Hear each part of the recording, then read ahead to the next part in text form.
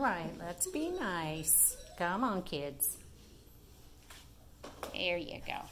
Find something else to do.